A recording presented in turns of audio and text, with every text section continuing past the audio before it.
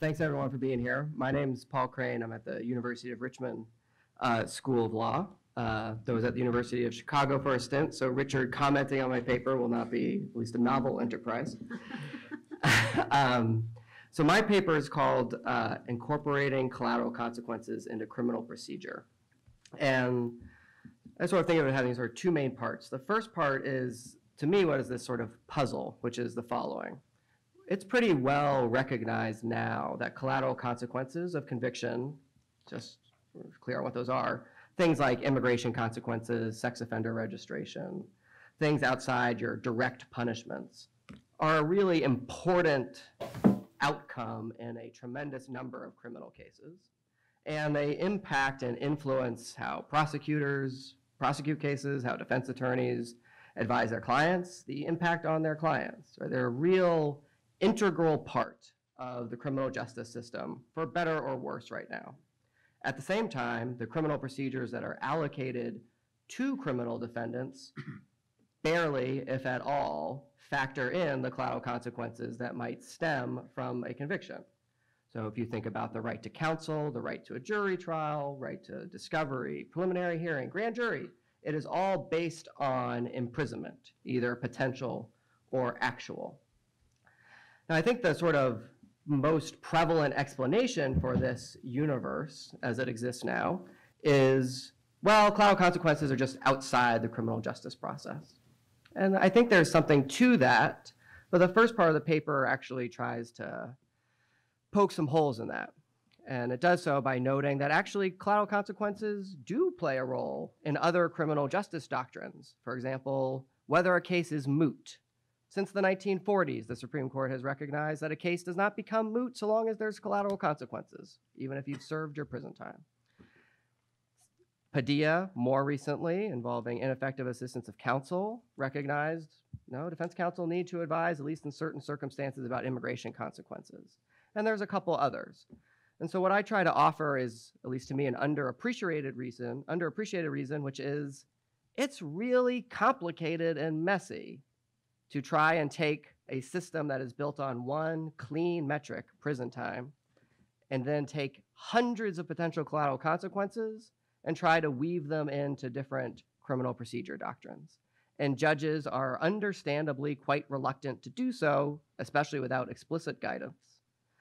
And so the lower courts, particularly in the last few years, that are getting increasingly claims of I should have an attorney because I'm facing deportation. I should have a jury trial because I'm losing my right to possess a firearm. Judges are usually just saying, this is a mess. And I think that's right. And I actually think that is, as much as anything, doing a lot of work explaining why this sort of, at least to me, outdated uh, universe of cloud consequences are really important, except when we talk about the procedures that are allocated to defendants. So then the second half of the paper, as any good academic, I raise a problem and then try to solve it. Uh, is try to ease the concerns uh, and ease the incommensurability difficulties that comes to incorporating collateral consequences. And so I set forth a proposed framework that has sort of three main steps. And sort of as a preliminary remark, I just want you to, I approach it with otherwise trying to uh, leave all the existing doctrine in place as much as possible. So, for example, take the right to a jury trial as an example. You have a right to a jury trial if you face more than six potential months of imprisonment. If you face less than six months, you have a rebuttable presumption that you don't, unless there's other big statutory penalties, which is, again, a sort of a nod that the court has sometimes recognized collateral consequences. I'm not advocating for anything different. I'm trying to take those lines where I find them the lines that divide whether you get the right or whether you don't. And the first step of this sort of proposed framework, which would apply right by right, each individual right you would, I would um, propose you look at uh, uh, in isolation, is to try and identify the theory underlying the doctrine that allocates the right at issue. So again, take the jury, tri jury trial right. For example, at least up to this point, the way the Supreme Court has explained their analysis, the reasoning is we look at the perspective of the legislature that passed the relevant offense, and they, that perspective determines whether an offense is relatively severe or not. And we're, we don't take it from the perspective of the defendant, for example. Some rights look at actual imprisonment, others look at potential imprisonment. There's a series, and won't go into detail now, sort of a series of questions to try and identify what's the theory underlying each right, whether it's right to a jury trial or right to counsel. The second step is now having identified whatever that theory is for dividing amongst defendants who gets the right, is which collateral consequences are eligible. Um, not every single one should be eligible. So again, just sort of relying on the jury trial right. Because it says, at least the doctrine thus far has said, look to the legislature that passed the offense and whether they thought it was severe based on the penalties that attached. That would mean, for example, in a state court conviction, a state court offense, that might otherwise trigger deportation and immigration consequences, immigration consequences under my framework should not be considered because that's a federal penalty, not a state one. Now, the most recent sort of state Supreme Court cases, of which there's two in the last six months, one out of DC and one out of New York, have reached a contrary conclusion, saying immigration consequences do trigger a jury trial right. But you'd go through having identified the theory of the right and then determine which collateral consequences are eligible. And then the third step is to basically do the relative severity analysis. And by that, I mean, again, we'll use the jury trial right as an example. If it's more than six months imprisonment, you get a jury trial right. Well, what I propose is you take whatever collateral consequences are still eligible for consideration, and you try to think of some, you try to uh, uh, figure out the functional equivalent prison time for the respective collateral consequence. Now, uh, some of that is going to require uh, approximation, but in criminal procedure, there's really only sort of four categories that traditionally matter either no time in prison, between one day and six months, between six months and one year, and more than one year. Just about every criminal procedural entitlement is either triggered or not triggered based on one of those lines. And so take the cloud consequences, and I work through at least my theory in the paper of which category, which box do these collateral consequences, each one sort of fall into. You then take whatever the line is as best you um, can divine, combine it with whatever category the collateral consequence falls into, and that triggers or doesn't. And the last part of the paper is just applying that framework to the right to a jury trial and right to counsel as sort of examples. I recognize that some of it's going, there will be reasonable disagreement on every step of the way. And I actually think that enterprise would be great. That would be people at least would be talking about it and trying to sort out the difficulties. And over time, courts would probably reach some sort of consensus out of need, if nothing else. And that to me is a better world than just simply saying, this is difficult, messy, let's not get into it. Oh, okay, well, Paul cedes a minute to you, Jennifer, so. You're going to use it more wisely than me. So I'm Jennifer Mascott. I'm at the Scalia Law School, and uh, my project is titled The Ratifiers Theory of Officer Accountability. My project may be at a slightly uh, earlier stage than some of the other papers here, but I'm interested in taking a look and, and writing about the early understanding of officer accountability, in part as a follow up to a project that I published this past year looking at the meaning of the phrase officer of the United States in the Appointments Clause. And I looked at a lot of um, uses of, of the phrase and the term officer in a lot of founding era documents, eh, which suggested that the phrase is has a, is a lot broader, encompasses a lot more officials than we think of currently, um, including probably every federal official responsible for an ongoing duty. And one of the reasons that the appointments clause uh, mechanism is in place in the Constitution, according to some of this early research, was to provide transparency and accountability. So the appointments clause said, you know, if you're an officer of the United States, you have to be appointed by the president, department head, or or court of law. And so the idea was that um, if if most government officials have in the executive branch have to be picked by the president or department head, um, rather actually than encouraging patronage, that would encourage the opposite responsibility and officer selection because everybody would know who to blame if that appointment did not did not work out. In the course of doing that project, one of the sources that I did not mine um, as comprehensively, partly because it's just so vast, and partly because um, it doesn't actually th- these sources don't say a whole lot directly on point with the appointments clause, are the ratification debates. Um, Elliot's records of the ratification debates. And so I decided in this follow-on project to look more broadly at theories at the ratif- at time of ratification of how the federal government was was to be held accountable, how officers was to be were to be held accountable, and try to build and kind of uh, build up and zoom out a little bit from the from the project that I did last year, honing in just on the appointments clause. Um, and so in the ratification debates. Um, you know, the word officers used to refer to a lot, a lot of times elected officials, president, Congress. Um, if you, and I'm, I'm actually just partway through looking at the sources now. So this research is based on the Virginia debates, which are themselves quite robust. There are about 600 pages in the ratification debates. The project will build out and look at um, the whole collection of the debates when it's done. But um, what I'm finding so far is that you can look at the accountability mechanisms that the ratifiers had in mind under three broad headings.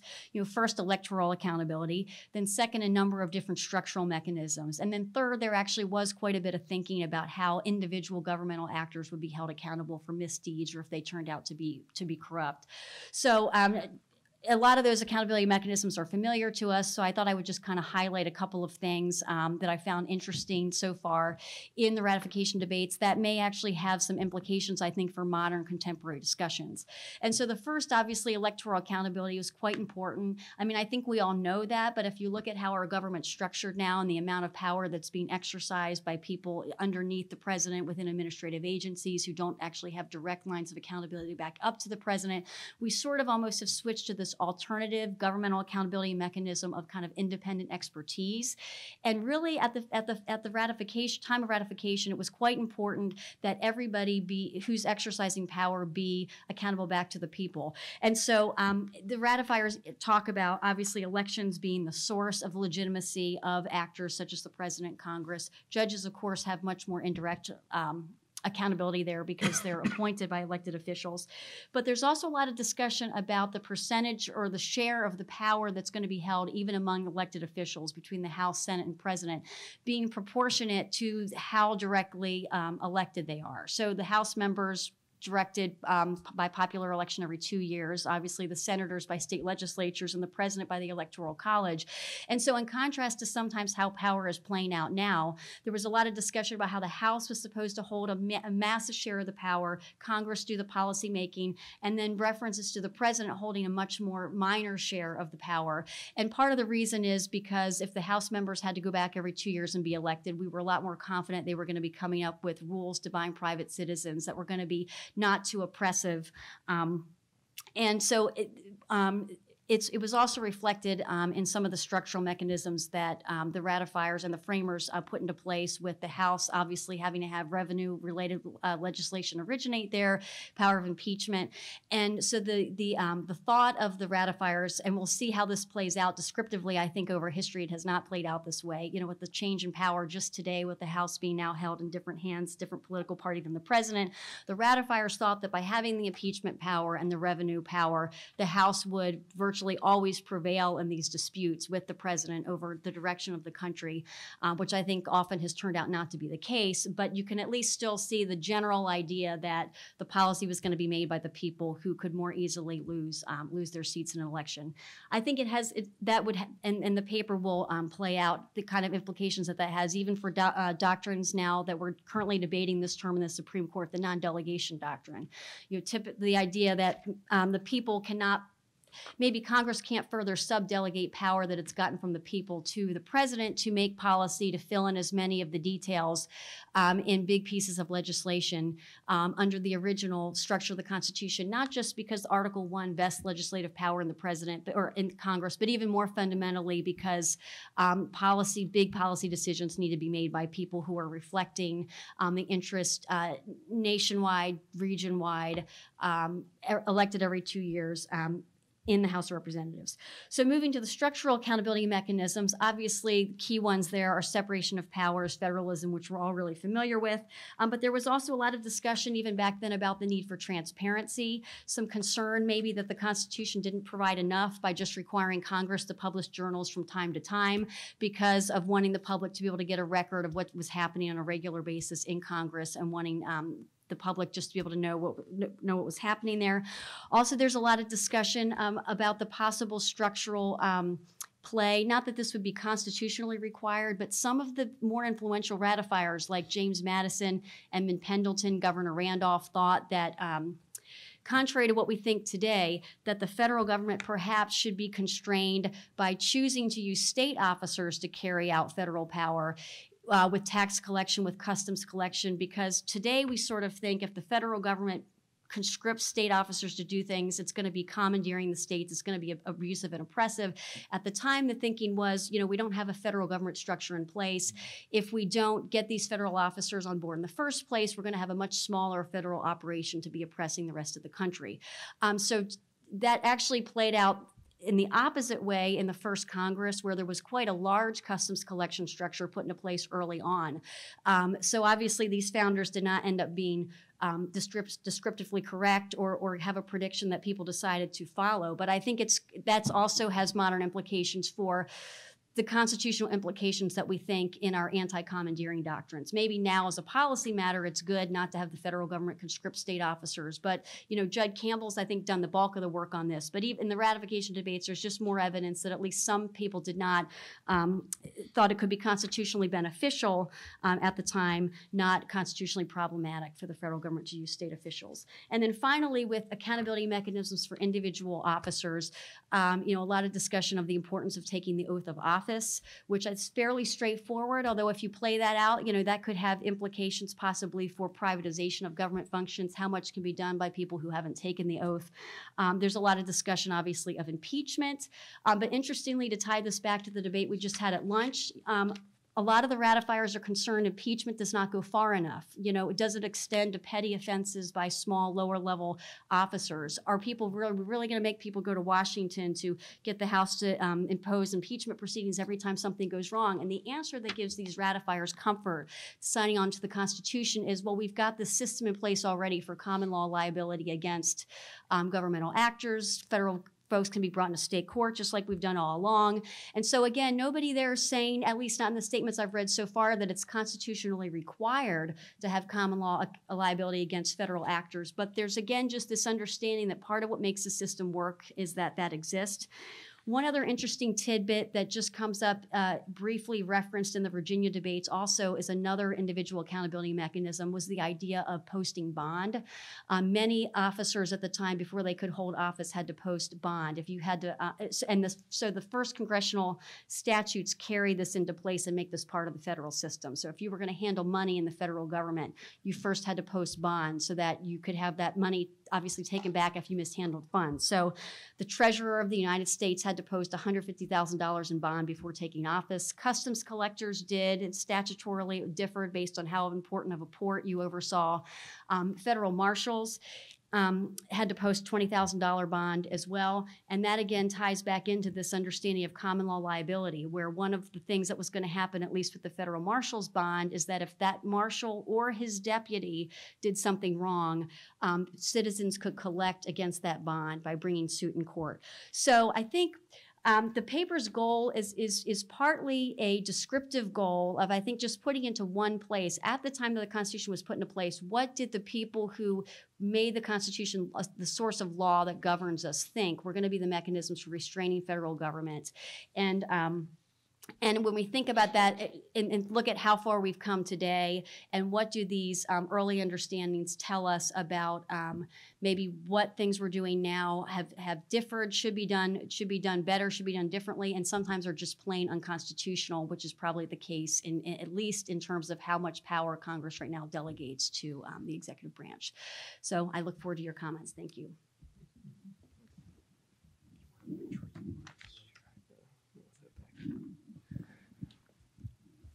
Can I go ahead? Go ahead. Go Go for it, Guy. Thanks. Um, Ilan Wurman, uh, I'm doing a VAP at Arizona State University. Uh, so my paper is at the moment titled "The Origins of Substantive Due Process." Uh, so we had a whole panel on this this morning. So uh, you're all initiated. So I'll just uh, keep the background brief, but uh, what I'll do is briefly draw what I think are the battle lines in the debate, and then explain uh, what my paper tries to do.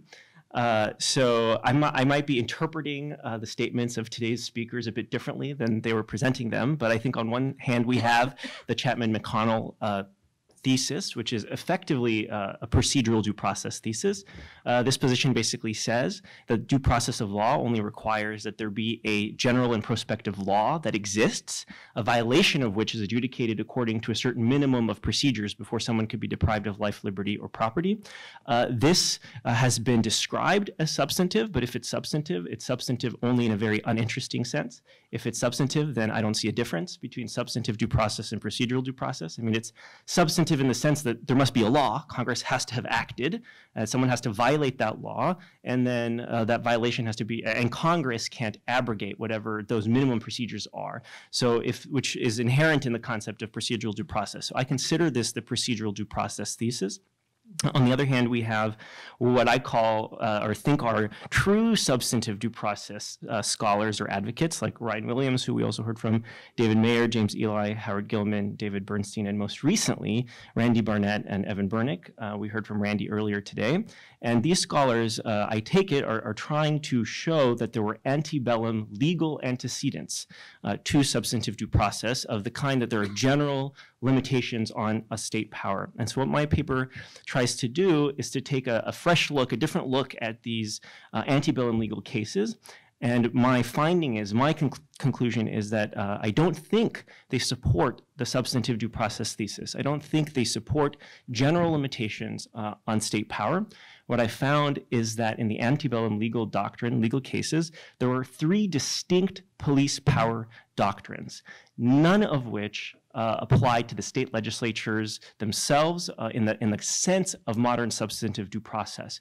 And so I'll go through the th- uh, so so what happened just to kind of take away the, give away the game. I think in the 1880s and 1890s, under the guise of due process of law, the Supreme Court conflated these three doctrines and, and created uh, um, this uh, uh, substantive due process doctrine as a limitation on the state legislatures generally. And, and I think that was a, a mistake, though we might be able to get to it with the privileges or immunities clause, which I'll get to. But so the three legal doctrines, the first and the most important one, involves municipal corporations. State courts did routinely invalidate the legislative acts of cities, towns, and boroughs, of municipalities. And they did so on two rationales. Uh, the first was a non delegation rationale the municipal corporations had strictly limited delegated powers from the state legislature uh, for uh, usually the, the police powers, health, safety, morals, but sometimes uh, there was other stuff in the delegation, and th- this delegation was strictly construed. This rationale does not apply to acts of the state legislatures themselves.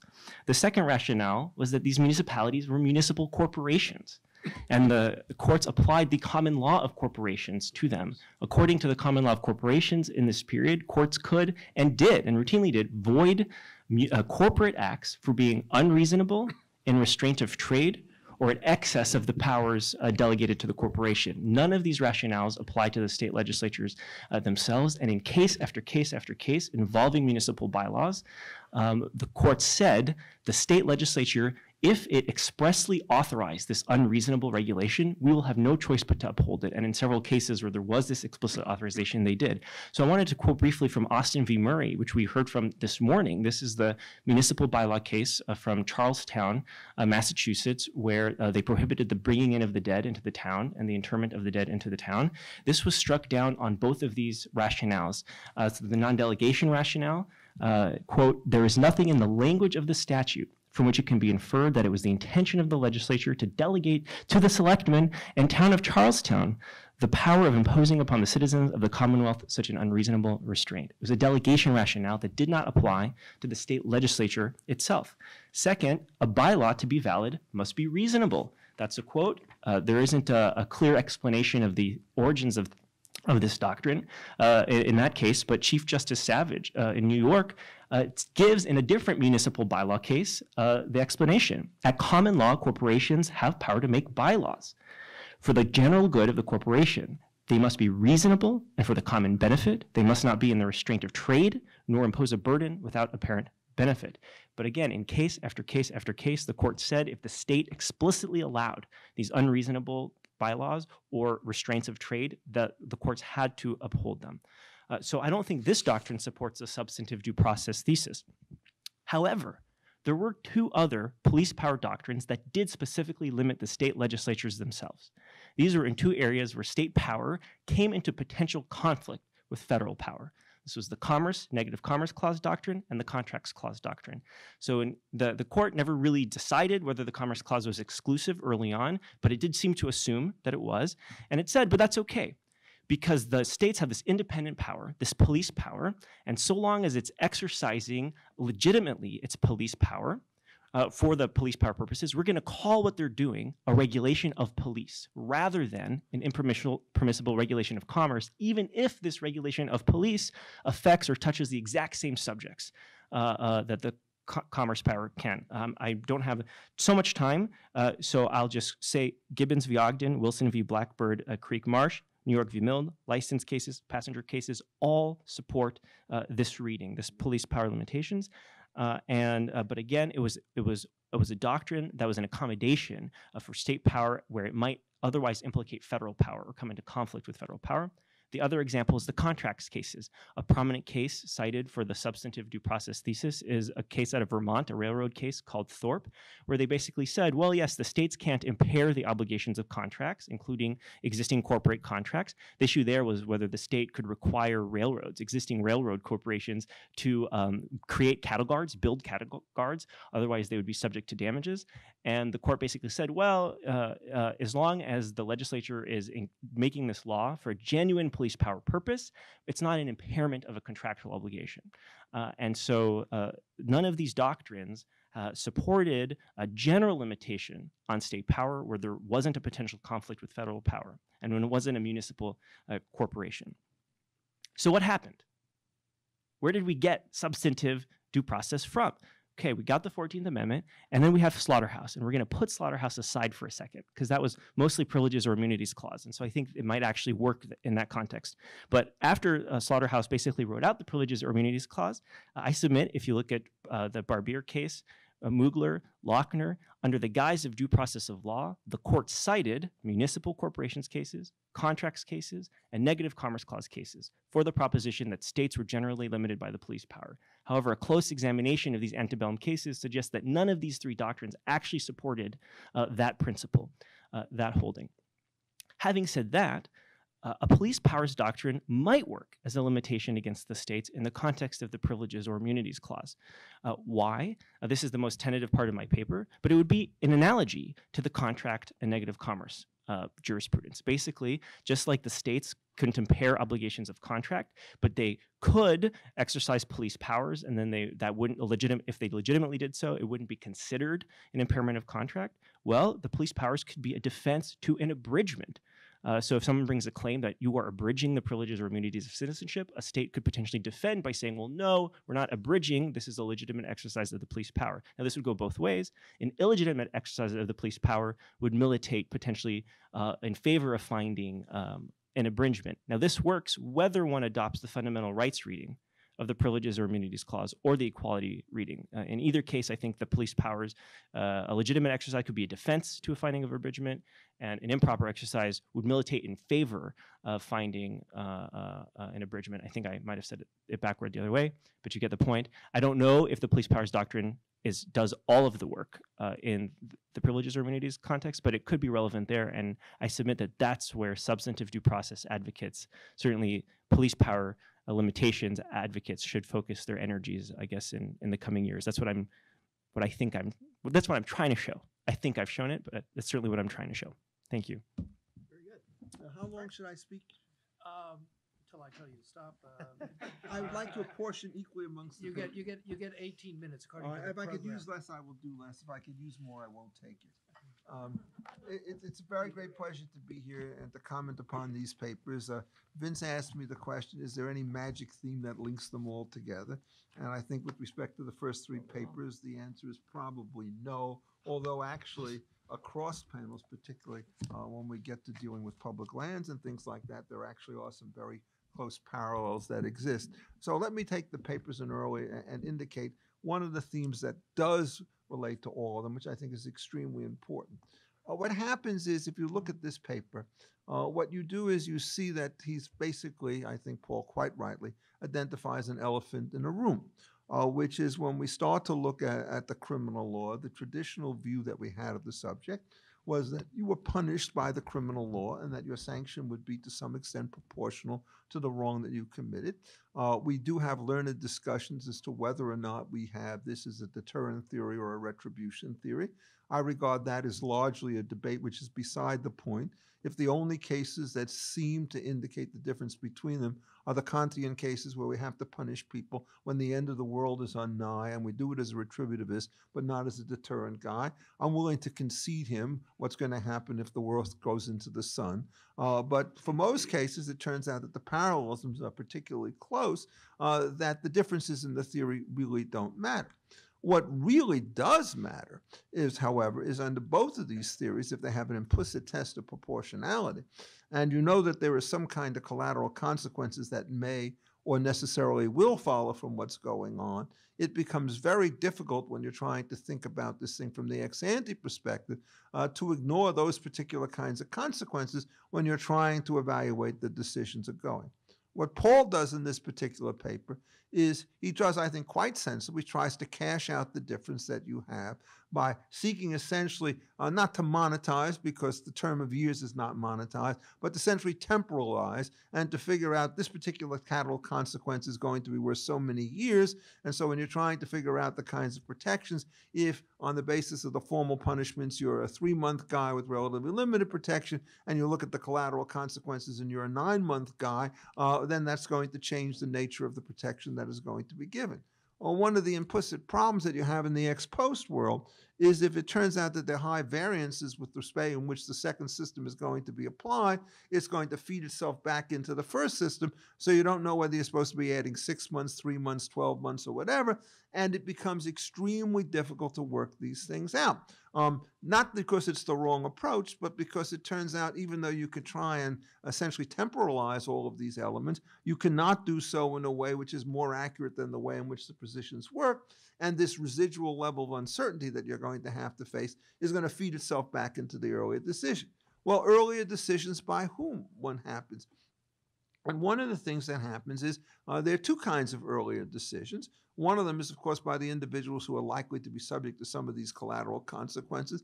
I think the most painful case for trying to deal with this is, in effect, the situation with respect to immigrants um, or students um, who are there. I recently uh, worked on a case in, in, which what happened is some student at some nameless university got in contact with me uh, because it was a foreign student and there was a sexual harassment charge brought against him, uh, which called for dismissal uh, from the university or suspension. If it had been an American student, you would have stewed your juices and so forth. But if you're a foreign student, uh, one of the consequences is that deportation within a certain period of time uh, now becomes one of the collateral consequences that arises out of this. And so, what happens is, should this be fed back into the system in the way in which you start to administer the practice, both by the administrators on the one hand, and also uh, when you're trying to figure out how you conduct your own life, uh, do you essentially recognize that you're under a heavy burden? I think for the latter question, the answer is always yes my sense of having spoken to a number of people who've worked through these systems is that it, it turns out the collateral consequences are uppermost in everybody's mind. Um, and it does change primary conduct. It leads to a real sort of unequal protection of the law if one guy is going to face the sword of Damocles and the other guy is going to face the standard punishment.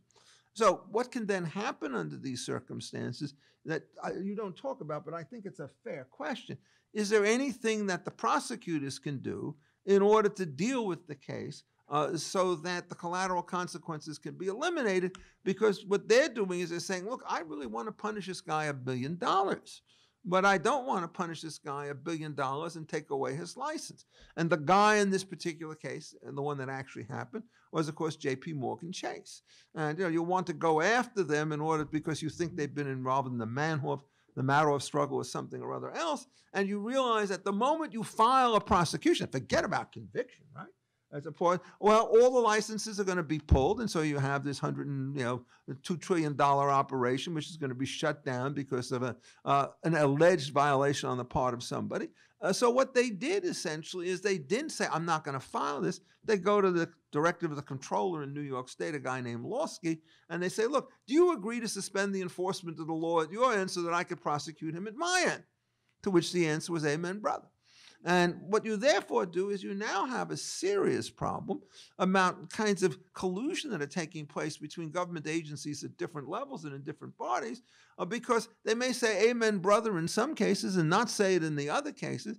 And when they don't say yes, it could be for one or two reasons. One is they want it to be prosecuted so they can get them out of the business, or they can say we don't want it to be prosecuted, and so long as we keep the nuclear option table on the table, uh, what's going to happen is that we're going to change the primary conduct. So one of the things I think that Paul should do, since he's worked on this since his time as a Bigelow Fellow at the University of Chicago, is spend more time investigating the ex ante operation of the sword of Damocles in the way in which it starts to work with these things, with uh, deferred prosecution agreements and a bunch of other stuff.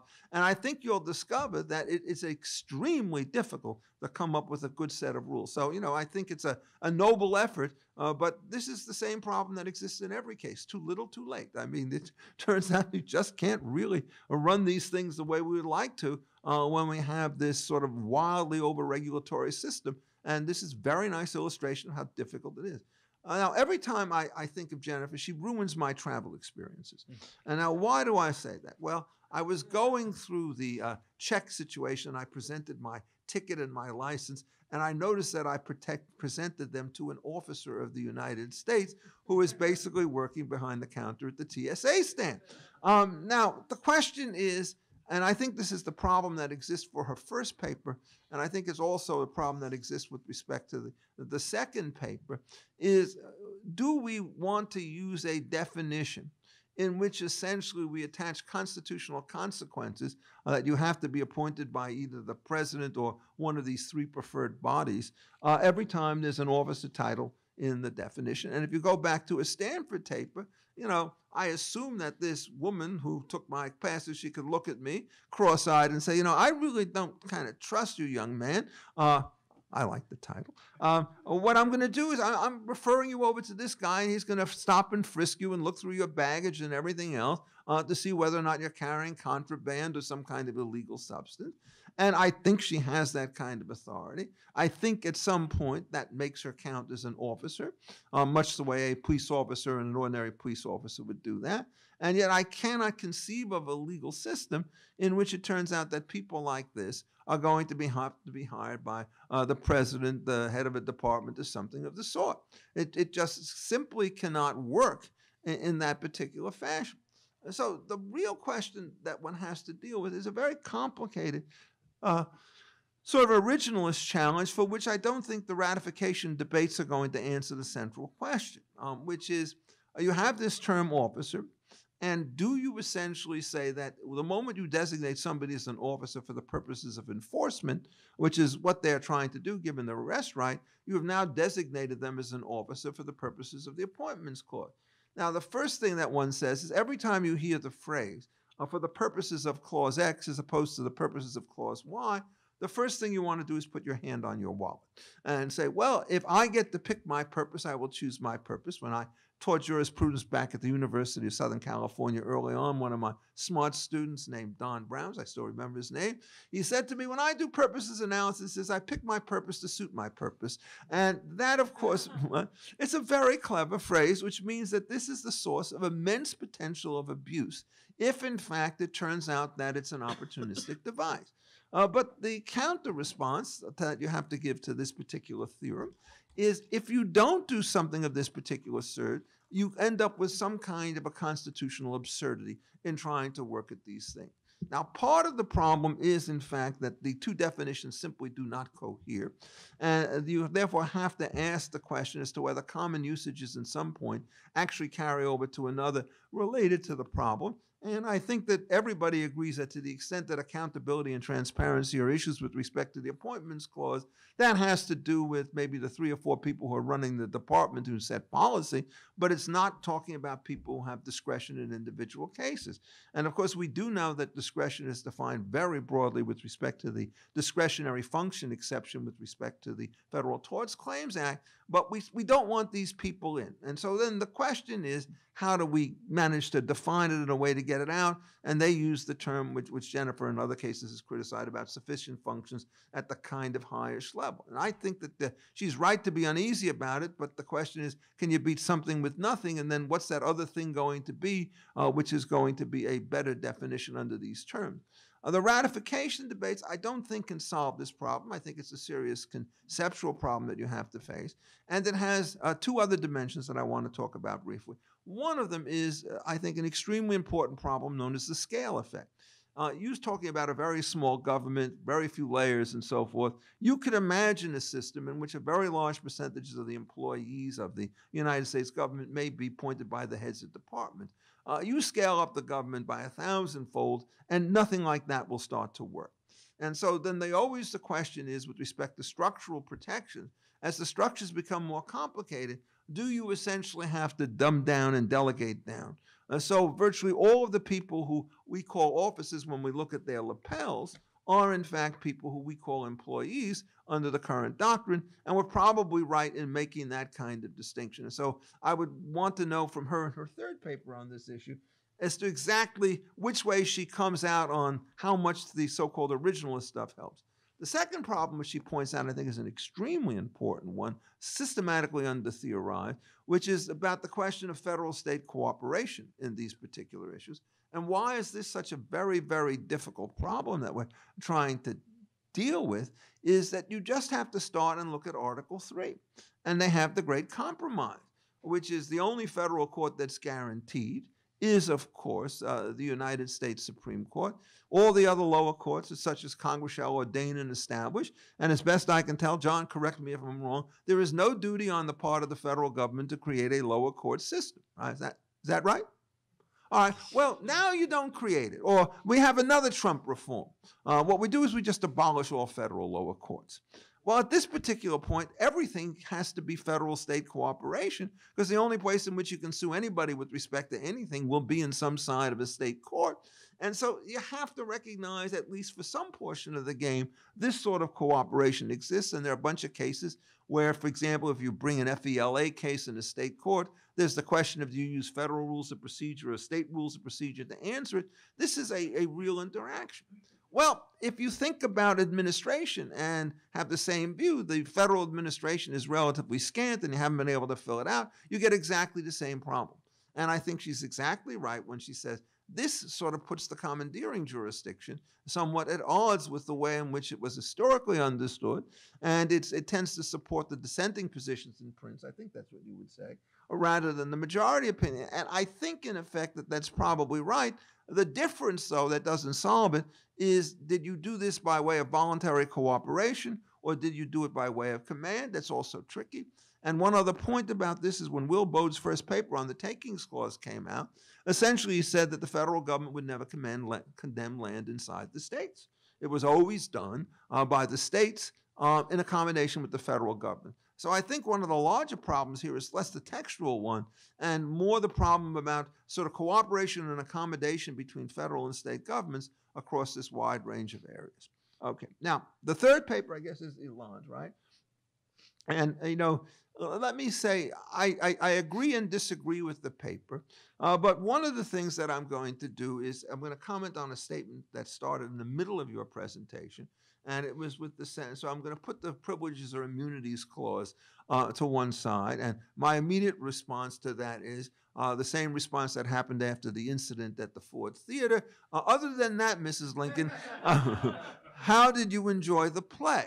Um, I don't think you can do this because what's happening American constitutionally is, as I think Ilan rightly understands, it is very congenial to figure out how it is that you fit uh, the uh, police power of a traditional sense into uh, the privileges and immunities cases. And indeed, uh, some people like Herb Hovenkamp, when they start to interpret the actual particular case, there's a big debate implicit uh, in his view between whether or not the slaughterhouse was exclusivity and it was the owners of the place who could determine who stayed in and who went out. At which point, what you do is you have the dreaded creation of state monopolies, and state monopolies are the sorts of things which, in the antebellum period, right, were subject to, oh, no, no, no, you cannot do it. Or whether, in effect, what happened is that these facilities were sufficiently large and that you had to treat them, now that they have monopoly powers, as a common carrier of sorts, subject to the standard obligations to take people in, subject to fair and reasonable regulations that were non-discriminatory towards the various parties. And what happened is the whole thing got short-circuited because you never have to deal with the justifications under these things if it turns out that there's no initial coverage to begin with. Uh, so uh, Ilan rightly mentioned that there were two views that were disputed about the thing. Is this a non-discrimination provision um, on various people in and out, or is it a fundamental rights protection? It reads like one, and the legislative history tends to read like the other.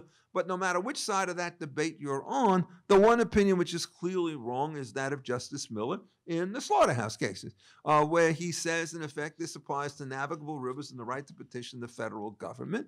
And I think everybody who read that opinion who was involved in the original debate had their jaws drop. And the reason he did this was the perpetual censor line that he put in there. He could not conceive, I can conceive of this, um, that you would have the federal government basically having a check and balance override over the states, a kind of uh, judicial version of a Madisonian vehicle, as it were. And indeed, that was many of the reasons why they did privileges and immunities. They thought that the state protection of individual rights under their own regimes was insufficient. You couldn't federalize it all through the contracts clause. We wanted a much more robust way in which to go in there. And so that what happens is immediately all this stuff then migrates to the other two clauses that are still left standing after slaughterhouse. Uh, there's a huge difference in that they both apply to persons, not just to citizen, but in many of the key statements about them, the word person is now substituted in for citizen back again so as to make it like that. And you start talking about the police power. And so, what's the way in which I disagree with Ilan is this, and I don't know. I think it's closer to Randy's view, but I'm, I'm not even sure. It's closer to my view. My view is closer to my view than, than to anybody else's, I, I think I can say. Is if you start looking at what the substantive content of uh, the police power is in all the antebellum states. It's essentially always a combination, an amalgam of two separate themes. Uh, one of them is this is ultra vires, what it is that you're entitled to do. And indeed, even in the post case on the, on the standing issue, any member of a municipality could sue to enjoin activities which will ultra vires the power of the organization. And one of the most dreadful features of Frothingham and Mellon, in the opinion that was written by Sutherland, is he tried to distinguish those cases on the ground that somehow or other ultra vires is okay for municipal governments, but not for the federal constitution, based upon the different size, a totally irrelevant constitution, uh, constitutional principle here. And so you can challenge it that way. And then the other thing was, of course, the other view of this was, well, yes, it's within your power, uh, but we have to check the purpose and motive of what's going on. And this is a theme which runs through every single area of law, whether it's domestic, whether it's international, whatever. This is legitimate if it turns out that you've got yourself a health and safety motivation. I'll for the moment morals and general welfare. If you got one of those things, then presumptively it's okay because the safety of the public is the highest duty of any particular government to provide. So we could stop nuisances like that. On the other hand, in the pure type on the opposite side, if all you're trying to do is to create some anti competitive situation where you give a franchise to one guy and deny it to his particular competitor and get a payoff from the government for giving it, um, this is just a total improper use. It's a kind of a diversion of public trust assets and powers to one party. And no government fiduciary is entitled to essentially take powerful things for the benefit of the public and give it on a surprise basis uh, to certain kinds of individuals. And so you would join it. And if you looked at the earlier categories, that's exactly what they were after in all of these particular cases. So I don't think it's a particular uh, enormous change given the, the substantive arrangement there. What really happened is the due process clause, it becomes substantive due process because we killed essentially privileges and immunities.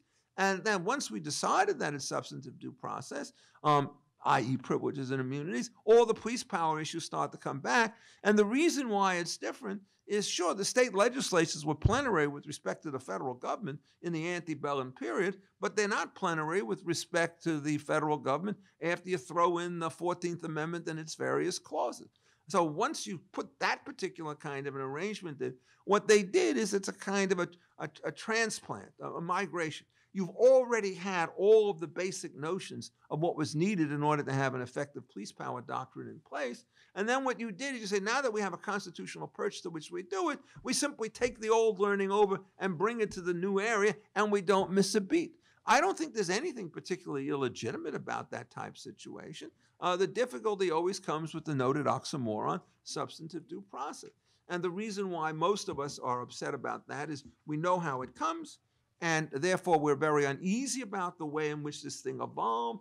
Uh, but one of the great themes of American constitutional law is the theme what do we do when constitutional blunders have essentially uh, taken over? Uh, do you correct them? Do you ignore them or whatever? Uh, and if we remember the luncheon debate, we did not have a really strong theory of what we do with qualified immunity if we think it's a mistake and how we correct it. This is exactly the same kind of debate. And the last point for 10 seconds only is I think it's also a big mistake to tie too closely the police power to the due process clause. If you just look at the federal government, uh, Reynolds against the United States is a classic illustration of a police power limitations being applied directly to a constitutional guarantee in what I thought was a completely atrocious way. But police powers apply not only to due process, they apply to every single substantive clause because it's always the same point. Or we give individuals certain kinds of rights, but we're not going to allow them to use those rights to inflict harm upon others or to create various kinds of, um, of, of monopolies. So what we do is we first have a police power doctrine which limits what the government can do, and then we use the same doctrine of the police power to limit what private individuals can do as well. Okay. Thank you. Okay, eye. All right. wonderful. So we're now, uh, Vince.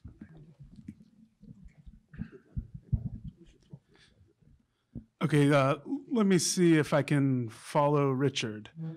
Um, so, uh, thanks everyone for being here despite the siren song of a post lunch nap. Uh, and thanks especially to Richard for engaging with these papers. One of the great thrills of my time as a law student was studying antitrust with Richard, uh, even if he's fond of reminding me that I was emphatically not his best student. Um, In a very strong but like everyone here, I've been learning from Richard ever since. Uh, so, so thank you. Um, changing gears here to municipal bankruptcy law. Uh, so the paper I'm going to talk about is forthcoming in the University of Chicago Law Review. If it's interesting to you, I'll email you a copy, or you can find it on on SSRN.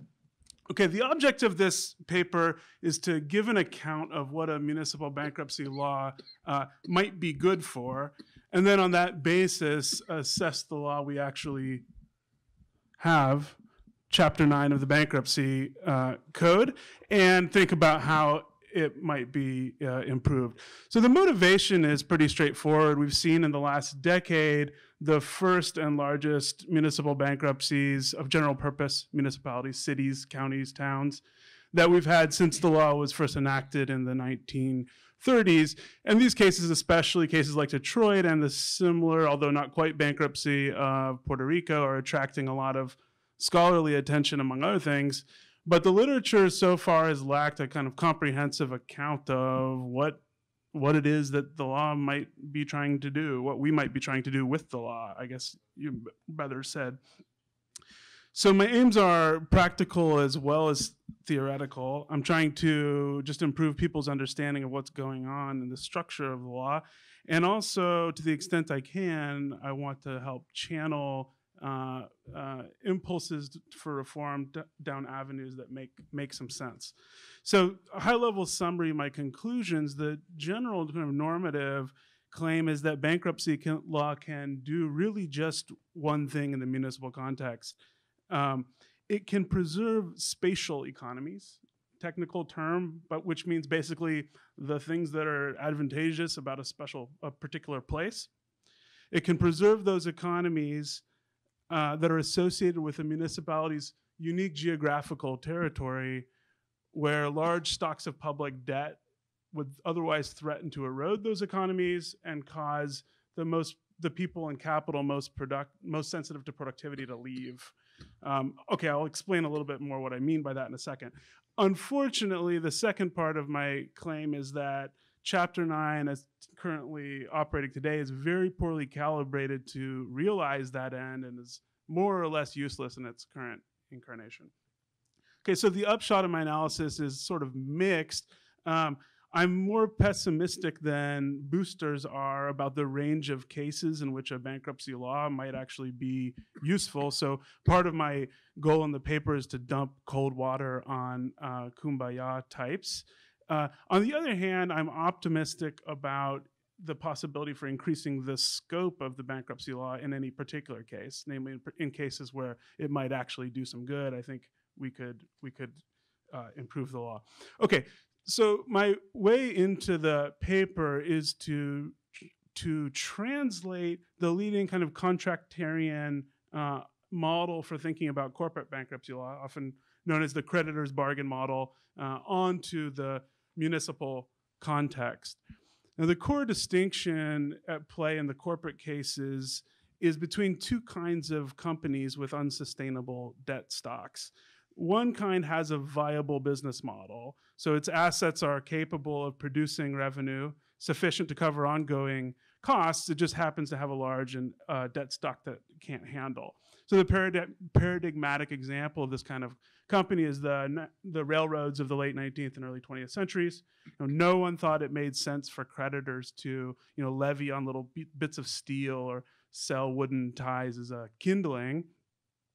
And a bankruptcy law can help in that kind of setting. So financial distress gives rise to some distinctive holdout incentives among co-investors. And it can make sense to have a judicially mediated procedure to help unwind some of those incentives. And the idea is to preserve the, uh, the value of the company's assets by keeping them together. Okay, the other kind of company lacks a viable business model however sound its business might have been at some time, it can no longer generate revenues sufficient to cover ongoing costs. So an example I give in the paper is like Smith Corona, the typewriter manufacturer. Right? The PC revolution means there's no saving that, that, that business. Bankruptcy can't do anything for that kind of company. It can delay the inevitable by forcing creditors to subsidize sort of ongoing operations for a little while, but fundamentally it can't do anything. Okay, so my take in this paper is really pretty simple. It's just to take seriously the idea that a municipality is a kind of firm. It has a business model in a very real sense. So it has costs. It's the costs of maintaining roads and providing drinking water, supplying social regulation, and so on. And it has revenues, uh, what it takes in from taxes and user fees, in addition to reliable grants and aid. And over time, the revenues, revenues need to cover costs. So what's unusual about the municipality is only that it doesn't, for the most part, own the assets that generate its revenues.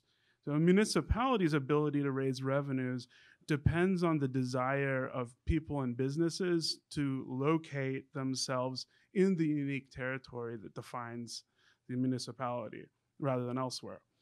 So the reasons that people and businesses have to do so, the advantages of being local, so to speak, um, are the municipalities' spatial economies.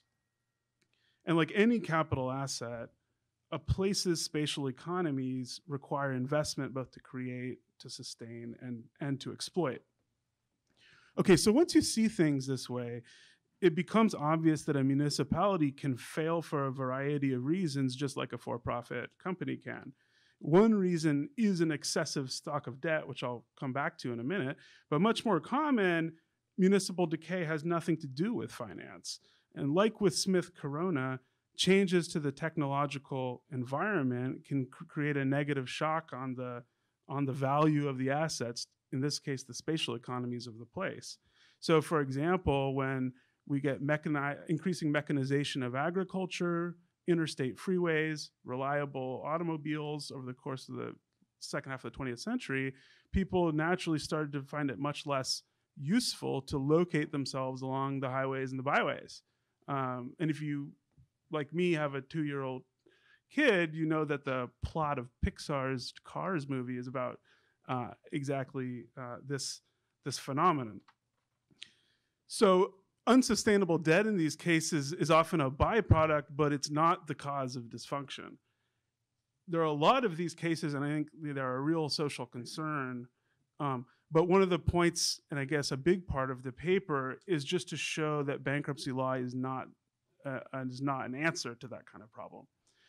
So what bankruptcy can do is to help stop excessive debt loads from causing the people and businesses to flee a jurisdiction. Um, in the interest of time, I'm That's the right phrase, go ahead. okay. okay, I won't elaborate on how debt can do that. You can probably do the math. The basic idea is that a large stock of, of public debt can discourage new investment in spatial economies, and over time, that decreases the productivity of being in a place, and the people and firms most sensitive to that productivity leave and are replaced by people less sensitive to productivity. You get a kind of vicious cycle.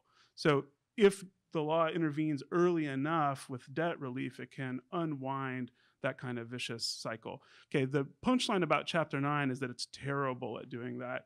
For a lot of reasons I talk about in the paper and in some other work I have, um, the law makes it very hard to intervene with debt relief in the time frame that you'd actually need to prevent one of these vicious cycles from developing.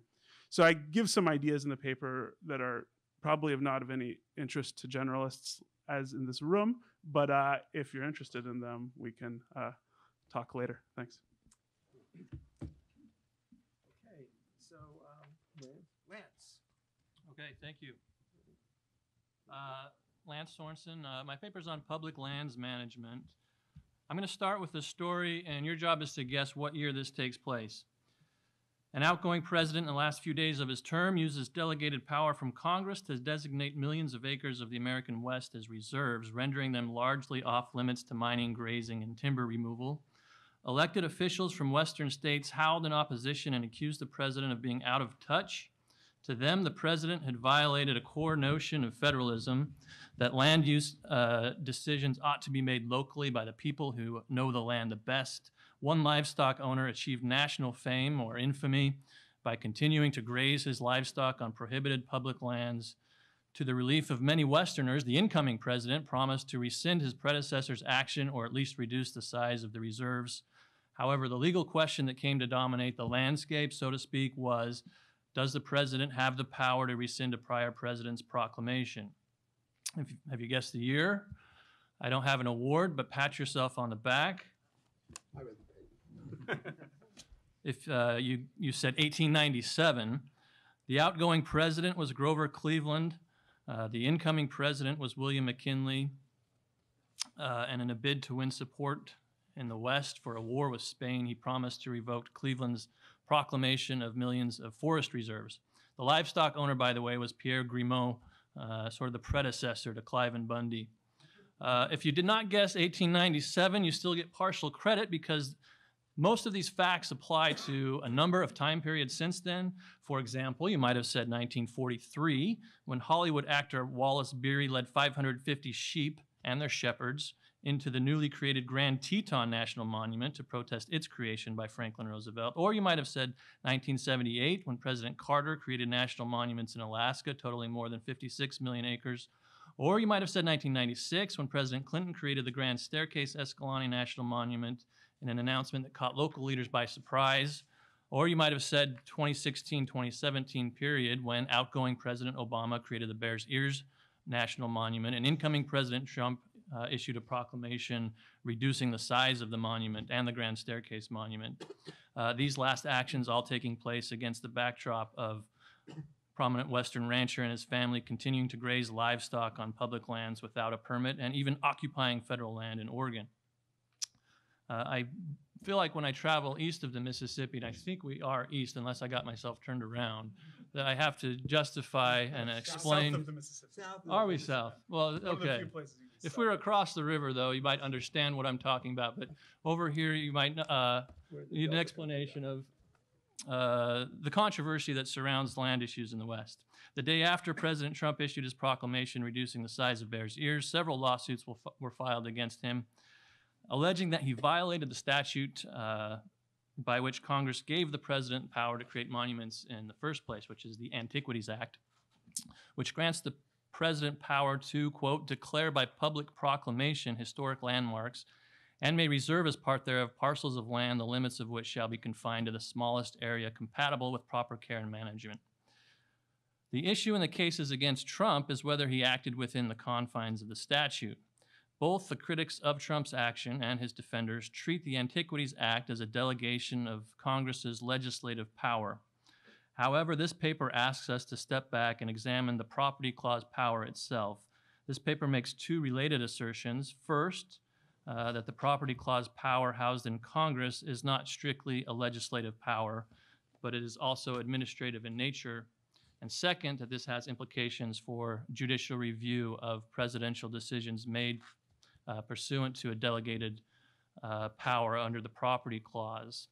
So the argument that the Property Clause uh, power is administrative is based on history, structure, and legal precedent. First, the history, or some of it. Uh, under the British system and prior to the Revolution, the king uh, had near total power to manage crown lands. Managing the national domain, domain then was uh, handed, handled by the executive, not by parliament. American founders, such as St. George Tucker, pointed out the dangers of allowing the king or executive to manage the national domain. By selling off land, the king or executive would be able to raise revenue without Congress or Parliament and the strings that come attached with that money. Lots of money in the hands of, a, of an executive, often in their experience, led to starting wars. This was concerning to the Constitutional Convention, still wary of reverting to a British like king. For this reason, the framers placed the power to manage property with Congress and not with the president. However, if we go to look for the Property Clause power in Article 1, where we usually go to find congressional powers, we won't find it there. Rather, it is in Article 4. Uh, so why? Why not Article 1? Uh, let me suggest two reasons, and this brings me to the structural piece of the paper. Uh, first, a review of the convention's history reveals that the management of the national domain was inextricably tied, at least in their minds, to the creation and admission of new states. The majority of the founders did not envision a vast permanent national domain. Rather, they envisioned the creation of new states out of the national domain. Article 4 deals primarily with relationships of states with each other and with the federal government, so it was a natural place to put the admission and property clauses. The second reason is that Congress recognized that the buying, selling, leasing, and managing of the national do- domain was administrative in nature, not legislative. Um, and there has been a temptation to uh, revert to a king like system, and I think that's partially because Congress has recognized the difficulties of housing an administrative power in a branch of government that's not really set up to do administrative thing, uh, things. This distinction between legislative and administrative power has been recognized by courts in the past, uh, which brings me to the legal precedent section of the argument. And I don't have time to go through all the cases, but one example I think might be helpful from a case decided one year before Congress passed the Antiquities Act. In Butte City Water uh, versus Baker, the court was asked to decide whether Congress had violated the non delegation doctrine by deferring some mining disputes on public land to local miners' codes. So these were laws created by miners. Uh, the court said there was no violation of the non delegation doctrine and it hin- hinged its ruling on its characterization of the property clause. Uh, it said the property clause is not of a legislative character in its highest sense of the term. Uh, rather, legislation passed pursuant thereto, thereto savors uh, somewhat of mere rules prescribed, prescribed by an owner of property. Okay, so if we were to accept that the property clause is hybrid in nature, containing administrative elements, uh, then what are the implications for ju- judicial review? So this brings me to the second claim of the paper. The concerns that animate the delegation of legislative powers, that is, the ensuring of a separation of powers so that ambition can be made to counteract ambition, are not present when Congress enlists the aid of the president to manage public lands. The courts, therefore, should take a deferential approach to public lands management. As the Supreme Court said in a case called Light v. United States, it is not for courts to say how public lands should be administered. These are rights incident to proprietorship. Courts should not second guess the management of the nation's proper, property. What to do then in a case like Bears Ears, in which the allegation is that the president has gone outside the statutory delegation of power from Congress? Courts should let Congress guard its own authority and allow them to rein in presidents it thinks have gone too far. Is Congress capable of doing this? Without making any claims about the outgoing Congress or the new Congress, Congress has many times in the past limited presidential power with respect to the Antiquities Act and other delegations of property power. In both 1950 and 1979, for example, Congress stepped in to limit presidential power under the Antiquities Act in Wyoming and Alaska. And the Alaska legislation, I think, is a good model of what Congress might do with the Antiquity, Antiquities Act nationwide. What it does is it allows the president to step in and declare a monument uh, to protect it from imminent harm, but it creates a fuse on it and gives Congress the final word on whether there should be permanent protections put in place. If President Trump has gone outside the scope of the Antiquities Act, the institution that should rein him in is Congress and not the judiciary. Thank you. So, last, And least. Lael. I'm used to that. Well, thank you again. Um, thank you, Richard, for commenting. Thank you to all of you for sticking around um, to the very end um, to hear about Frankfurter abstention doctrine and the development of modern federalism. I'm Lael Weinberger. Um, I'm currently clerking on the Seventh Circuit. And looking at Frankfurter, um, we can find uh, something surprising. In its first century and a half, the Supreme Court never used the term federalism in an opinion. The very first use of federalism by the US Supreme Court was in a 1939 decision by Justice Frankfurter. Labeling a concept is a clue to a historian that something new is probably happening with this concept. What was new in 1939? The short answer Frankfurter.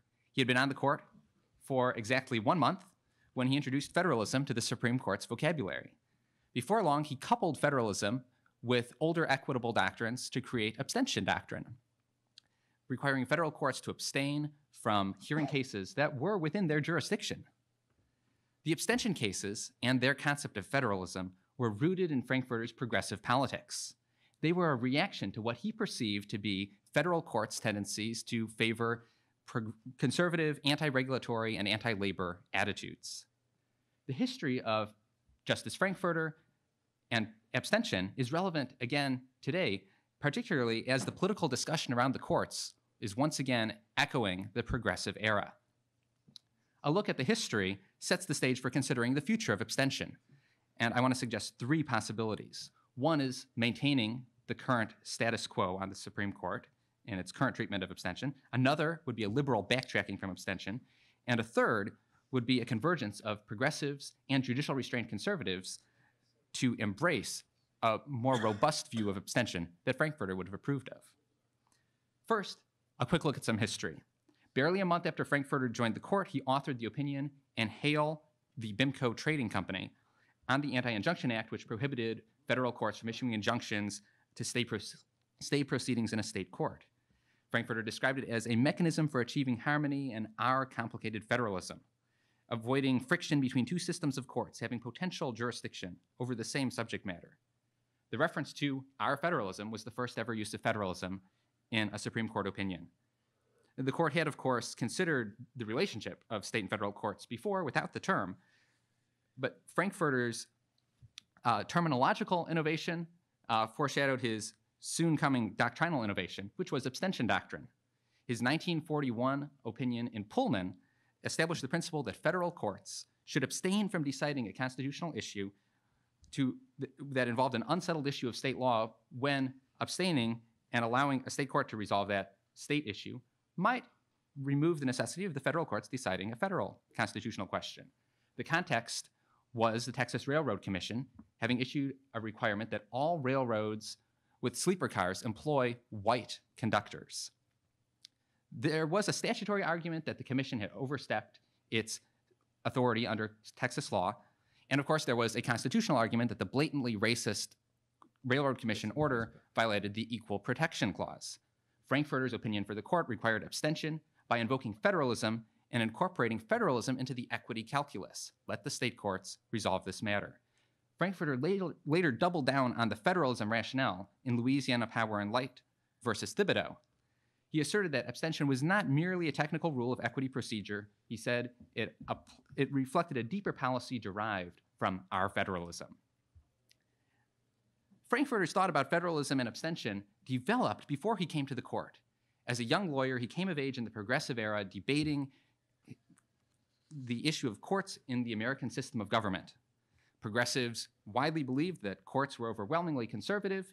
They were especially troubled by the freedom of contract line of cases, strictly scrutinizing state regulatory law, and by the aggressive use of injunctions to regulate labor and labor protests.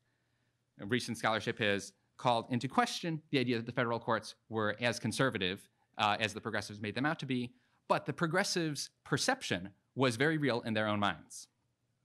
Frankfurter was a committed progressive who supported not just, just judicial restraint, but efforts to modify and reduce federal court jurisdiction in the 1920s and 30s.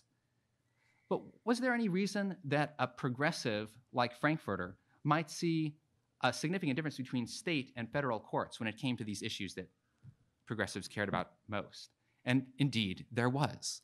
State courts were, above all, more democratically responsive, more susceptible to political pressure. State courts, of course, were often elected, um, and state constitutions were easier to change, and it was easier to experiment with different methods of putting additional democratic accountability mechanisms on the courts. Progressives uh, discussed and experimented with abolishing judicial review, requiring unanimous or supermajority votes of judges to strike down legislative enactments, and they instituted recall provisions um, to recall judges and to recall judicial decisions via uh, democratic votes. Frankfurter's scholarly writings about the federal courts often hid his politics behind an apparently politically neutral concern about overworked courts and overburdened dockets. But the politics still lurked in the background, and perhaps the most obvious example of this was in the abstention context. In 1910, the House of Representatives considered legislation that would let the state courts construe their own statutes before federal courts construed them. It was a foreshadowing of what would later come in Pullman. It didn't pass, and it immediately fell into obscurity, except that Frankfurter had paid attention, and he wrote about it some 16 years later. And then 30 years later, basically put this failed congressional proposal um, into the heart of his Pullman opinion. This dramatically illustrates the close tie between abstention and progressive politics. In Frankfurter's hands, federalism provided a rationale to restrain the jurisdiction of the federal courts, to sh- shift, at least at the margin, more authority towards a more democratically accountable institution, the state judiciary. Looking back at this history can provide a jumping off point for thinking about three possible futures for federal, federalism based abstention in our own day. One is basically a status quo future. The current Supreme Court, um, more sensitive to some originalist concerns, has backed off from what we might see as Frankfurter's broadest inclinations to view federalism as a freestanding uh, basis for abstention, and has emphasized a law equity distinction where, um, as it's suggested in Quackenbush, abstention is appropriate in equitable cases where the courts have discretion, um, but should be avoided in cases at law. The Supreme Court could continue on this course um, a modest status quo version of abstention. Um, but there are a couple other options. One would be a sharp cutback of abstention, um, which we might view as actually um, motivated by legal liberalism. The history of Frankfurter and the progressive origins of, of abstention should really provide a cautionary tale for legal liberals who believe that the federal judiciary's key function is to protect individual rights against democratic majorities that might compromise them. The Pullman case is a perfect illustration of this point, where abstention allowed Frankfurter to dodge a decision on a contentious issue, uh, the Equal Protection Clause, um, and avoid deciding this sensitive issue of racial discrimination. Indeed, the uh, point for progressives like Frankfurter was, in fact, that by moving cases out of federal courts and into the state judiciaries, um, they might get results that would delay or completely avoid any adjudication of federal questions. And for a legal liberal who believes that this is perhaps the highest calling of a federal court, this should be troubling. So, if originalists um, might perhaps like the historically sensitive uh, vision of the current status quo Supreme Court jurisprudence, distinguished law and equity, a modest abstention doctrine, legal liberals might want to cut it back. A third possibility, though, is that we may want more abstention. People who care about judicial restraint, whether progressives, left of the center, or judicial restraint conservatives on the right, might find in Frankfurter's vision uh, an attractive model for moving, at least on the margins, issues more towards democratically accountable actors. This, uh, prog- the progressive origins of abstention might be worth revisiting at a time when, just in the last few months, we've witnessed a flurry of new proposals for how to rein in the federal courts. Maybe Frankfurter's constituency is back. Maybe abstention doctrine could once again be used as a tool for avoiding broad rulings by federal judges in a polarized country. Thank you. Okay, good. Thank you to the panel. Um, my job as provocateur now continues the pace, and I, I want to thank all of our extremely diligent authors for what they've performed. Now, let me sort of take the papers in order. Richard, can you move the? Oh, move the microphone. And one of the things that, that, you know, Vince asked me before about themes, and one of the themes I think that uh, does emerge, uh, particularly with Paul's paper uh, and with your paper, is the sort of ex ante, ex post situation. That is, uh, the way in which Vince organizes his paper, he looks at the bankruptcy world and discovers that the very powerful functions that you see in the way in which bankruptcy works in the private sector uh, because it stops the genuine prisoner dilemma game and allows you to preserve assets that would otherwise be dissipated. The so-called creditor's bargain uh, does not have a particular analogy in this particular case. And one of the reasons is we all have the complications of doctrines with sovereign immunity. We know that creditors' remedies against the governments are very large. We also know that the way in which financing runs at the state and municipal level is often less than a model of probity on the way in which responsible fiscal governments ought to be able to handle themselves. Although Vince does not mention it, it's amazing if you start to look at different localities and municipalities faced with common kinds of external shocks, the enormous difference in the performance that local governments have had in the way in which they respond to it. So Houston essentially had a huge problem with the energy break in the bubble about 10 years ago.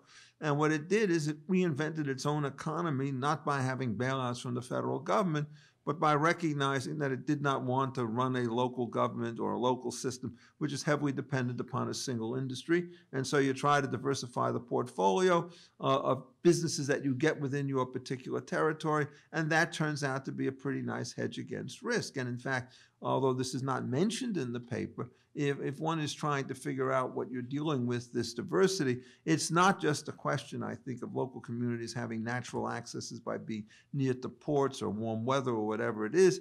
It's also, I think, that one ought to take into account very carefully the diversification of the kinds of businesses and activities uh, that start to be there. Uh, the other thing, of course, in this ex ante world that was we were worrying about uh, was the extent to which you try to rely on domestic reforms by way of what we would call liberalization on the one hand, reducing the barriers to entry, the degree of regulation of local economies on the one hand, or the extent to which you're trying to play the game by keeping all of your favorite preferences in place and then trying to stoke up by going to the federal government a cornucopia of uninformed wealth in order to get them to fund the follies that you've managed to engage in. And so, you know, you get Houston on one side and you get Pittsburgh on that side of the line. You start looking at, you know, exemplary cities like Detroit and like uh, Baltimore and so forth. Baltimore has a very conspicuous feature. It's first in receiving federal subsidies and it's probably the worst performing city in the face of the United States. People do not remember that Baltimore, at the height of segregation in 1950, was a prosperous town with 900,000 people. Uh, after the progressives took over, it lost one third of its population when the national population is doubling, so it's about uh, 600,000. And it's mired in crime and death with occasional white privilege islands in the middle of the place. This is not the kind of portrait uh, that you want to see. So why do I mention all of this stuff? Because I, I think that there's the following argument that Vince does not make, which I would make. I don't think, frankly, that the bankruptcy law can do very much to help a locality. Um, uh, the ex post remedies are very, very difficult to put into place. Uh, what happens is he notes in the papers that virtually all the things that local judges seem to get done uh, are done sub silentio. They're done by influence, intrigue, political pressure, and so forth. It's not because the formal powers are doing this. This is not bargaining in the shadow of the law. This is bargaining at high noon in the middle of the sunshine, right? Um, in which essentially there's a free going on it's very difficult to figure out what's going on. The second problem I think that one has with this particular situation is what you're saying is you're trying to uh, sort of protect investment by getting rid of the overhang of previous debt from somebody else. Uh, essentially, the way in which you have to model this is you assume that people come into town, and one of the things they're going to have to do is to pay for real estate taxes. And these real estate taxes essentially have two components associated with it. One of them is to pay off past debts that have to be done in order to keep somebody at bay. We're never quite sure whom, but somebody. And then there are others which are designed to provide return services for the people who enter into the particular community. If it turns out that you're doing too much on the first side of this stuff, there's not enough money on the second side of this stuff, and it's going to be extremely difficult to get businesses to come into a particular kind of local community and come up with the brilliant conclusion uh, that they want to essentially subsidize past mistakes out of it. Well, that's why you want to get rid of the overhang. The problem is uh, now what's going to go in there, you want to get these new guys, you want to get this first generation of guys to come in to lend money and to do things. Uh, the difficulty you have is if you've got a bankruptcy law, what you're doing is you're upsetting the basically the estimations and the people at the first part of the particular cycle. Uh, they're going to say, why should I go into this particular system if it turns out that there's going to be a strong bankruptcy law and I can be forced into some kind of reorganization, compromise my debt, and we don't have any real strong allocative model, which is explaining why we're doing this. I, I think it's well, let's put it another way. Uh, what's left with the spatial model is everything that's taken out is the creditor's bargain model and the prisoner's dilemma game. You're basically losing an order of magnitude. It may be a legitimate function, but if it's going to distort the market in previous times uh, in order to get things done in the ex post state of the world, it's just not at all clear to me that you're looking in the right place. So the, the basic intuition, and I think what his next paper should be, is a paper on the futility of, of municipal bankruptcy, optimally organized, as he would probably do it, because he's certainly right about the critiques.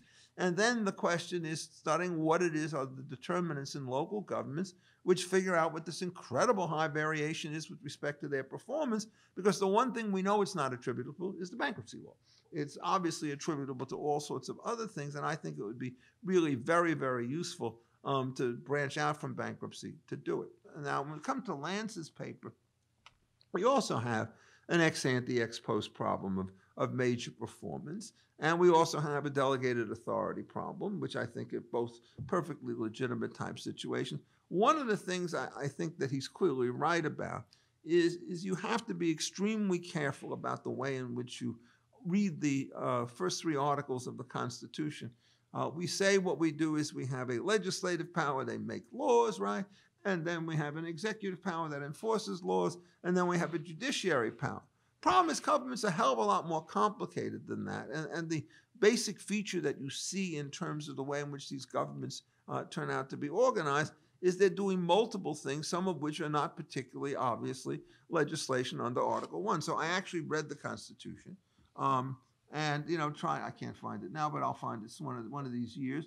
And you're trying to figure out exactly what it is uh, that the Congress could do. And amongst other things, it could say every order, resolution, or vote which, to which the concurrence of the Senate and the House of Representatives may be necessary.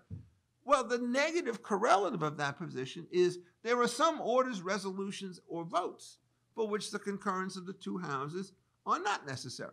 Well, what are they? And I think, you know, it'd be nice for somebody to figure it out. This is, I think, a serious problem with respect to Chadha, because if you look at the one house veto, you don't think of it as a legislation. What you're doing is you're making orders and so forth. You may not have to do it for that precisely because it's not legislation. And so this is a kind of check and balance, uh, which is non legislative, given to the legislative branch. Um, and if you look at the rest of Article 1, there's half of it, the last two clauses, uh, sections are dealing with limitations on state governments, right, which is not a legislative function at all. So I think, in effect, that he's clearly onto something um, when he starts to say that the characterization isn't there. And I think uh, this is a textual hook, which I don't think you mentioned in the paper, um, but I think it actually does give rise to a serious problem. And I think the founders understood this problem, uh, and they basically say, you know, Gaul is divided into two parts, not three. Uh, but what they don't do is to tell us what's in which of these two particular parts. But I would make the fairly powerful argument uh, that if you're dealing with the property clause and the disposition of property, um, you could make an argument that that is not legislation, and therefore all of the usual rules don't go. So what follows from this, however, is not at all clear because of the ex ante ex post problem. Um, generally, whenever I hear the word deference, I, I get a vague case of the willies and the ills. Um, uh, that is, I'm an anti-Chevron guy down to my core. Um, I believe, in effect, that uh, the basic structure of the Administrative Procedure Act is to basically put the administrative procedures as some cross between the trial court on the one hand and the jury on the other, and that when you go up the ladder to the courts, the appellate review on questions of law, no deference whatsoever, mixed questions of law and fact, get some, pure questions of fact with credibility and witness testimony there, you get a lot. And so you go to arbitrary and capricious at the bottom and de novo review at the top, and this middle category is treated in the middle way. I think that's the way in which to do it. And I see here the problem is as follows. Uh, I know best the Obama version of this. I, I mean, I'm happy to believe it earlier. And, you know, this is protecting the antiquities. Uh, if you're going to start to tell me that an antiquity includes a historic scenic landscape of great proportions. My attitude to you is, is that you do not know what the English language means, or you choose to ignore everything that it does mean. And I mean, Obama, you know, he was smoother than Trump, but much more disreputable in the sense of using his power, the pen and the phone, to what I regard as totally illegitimate functions. So the question about deference has got the following two-edged stuff. If you're going to give Obama deference, so that he could put this thing into place. And then you have to give the second guy deference so he can take it out of place. And so I would allow him to reverse it. The question you say is then Congress has the power to oversee this. Well, the question you have to ask is if Congress says, no, no, no, no, no, no, Mr. Obama, we don't want to do this. The year is still 2016. They pass a legislation reversing the Bears Ears designation and he vetoes it. What next? Um, I don't think that there's an answer that's being given to that question.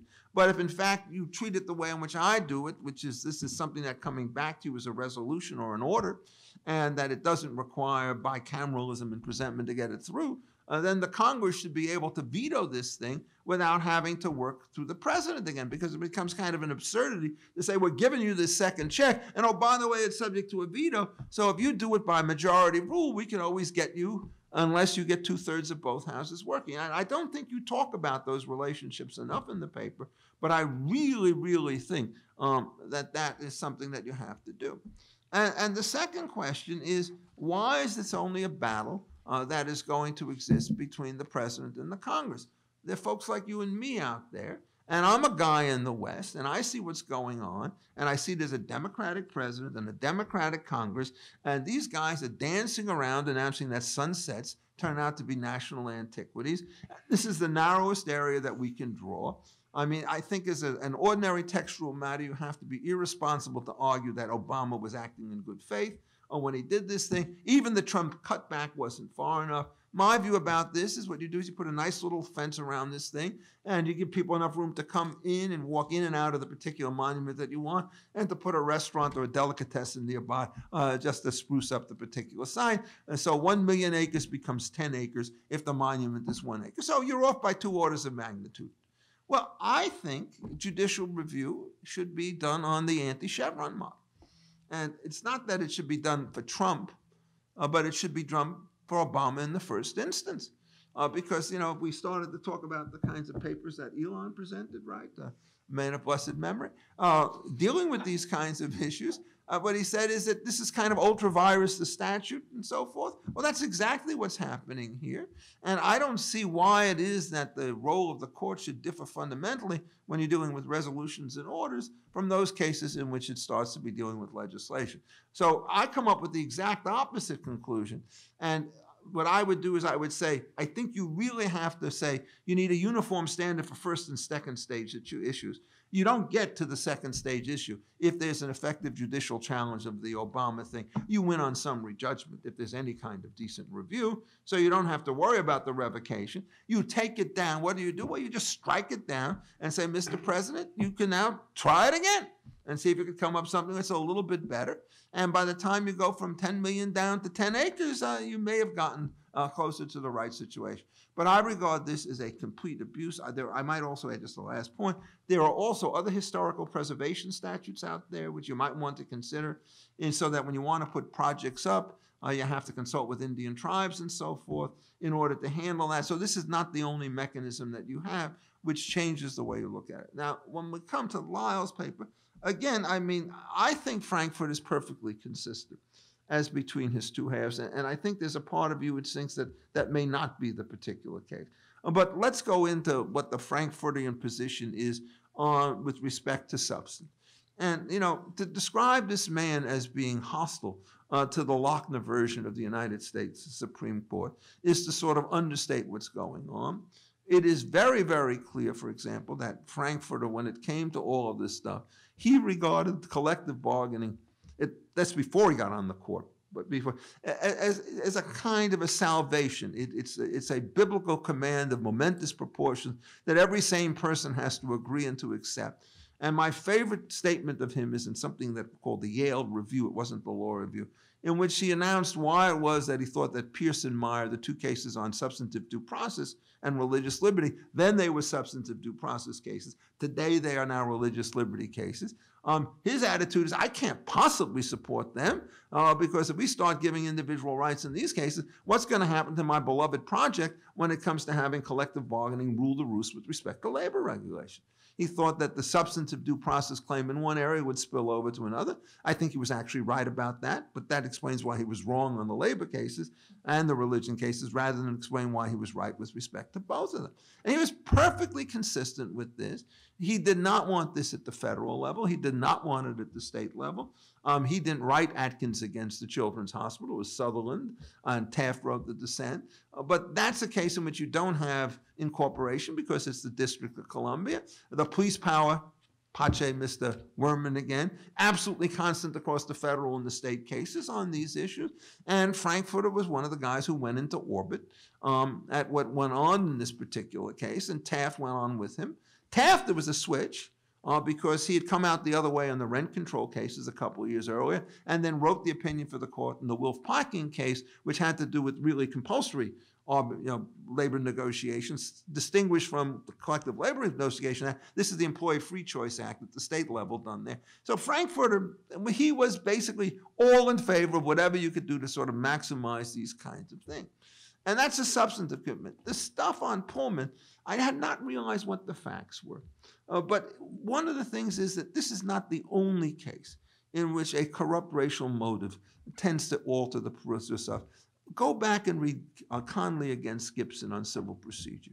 And this is a last five years still battle over the duty of fair representation of labor unions to represent minority workers when they were forced to amalgamate wrongly under the Railway Labor Act of 1926. Um, and uh, they were trying to basically get out of their fiduciary duties, and he blew a gut.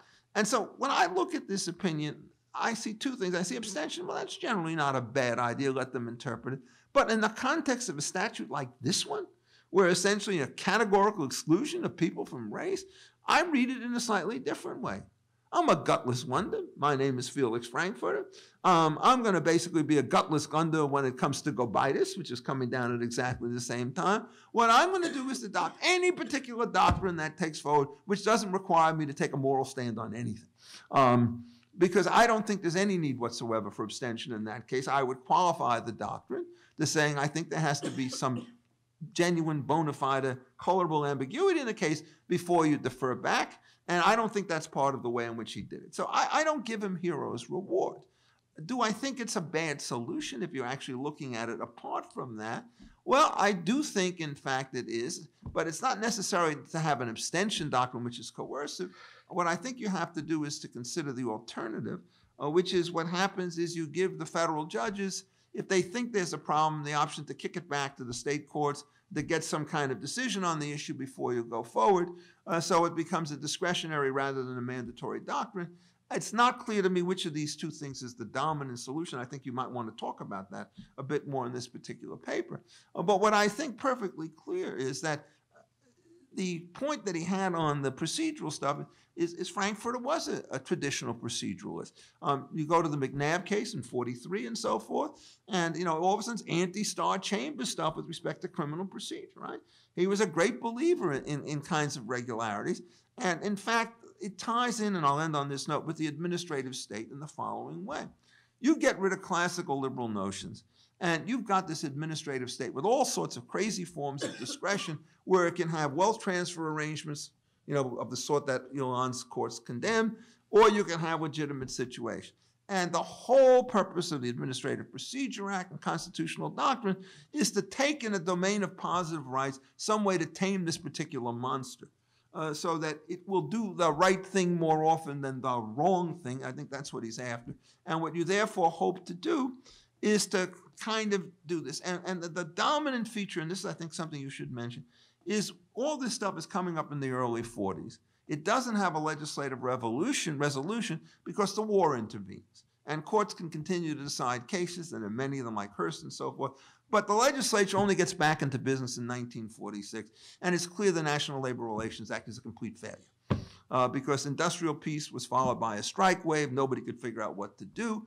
And they never asked me, I was three at the time, but I would have told them, which is the only way to solve this particular problem is to repeal the National Labor Relations Act and go back to the pre order. And when I announced that at the Yale Law School in 1938, there was a modest riot in the room, uh, but it's still the correct solution. But what they did is what Republicans everywhere always do, which is you, the Democrats, go from zero to 10, we, the Republicans, go from 10 to 6. Right? It's never a question, oh, you get us to 10, and we're going to go right back to zero. So it's the minimum wage debate. You want to raise it $2, we want to raise it $1. And that's the way in which these political debates start to play out. Frankfurter was actually, uh, the more he was a judge, the more he became uncomfortable with all of this stuff, right? And by the time he reached the mid 50s, he's an anti labor guy. And I think you might want to just take the accommodation a little bit further with the secondary picketing sites and the 54 decisions and so forth to do that. So I'm done. Miss- You're done. Oh, did I get the right time? You, you know, you were right on time. I'm Um, sorry. So. So why don't we, we have about 20 minutes for questions, so people in the audience can interrogate people up here. So Come on. let the interrogation begin. Oh, for God's sake. Shh. Good. Uh, John, you, I have a question for Clarence Sorenson. And this is how, however you account for the conclusion that the executive can have very broad discretion with respect to the administrative of public lands.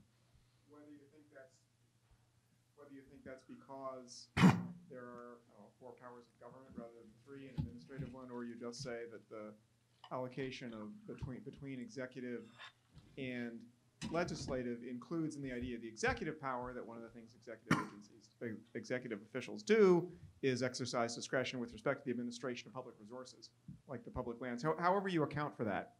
What I'm wondering is, does that apply or can that apply to intangibles? For example, suppose that it's permissible for Congress to, in effect, make control over the airwaves, considering them as a resource, mm-hmm. metaphorically speaking, public. That is, by forbidding broadcasting without a license, As they did. as exactly as they did.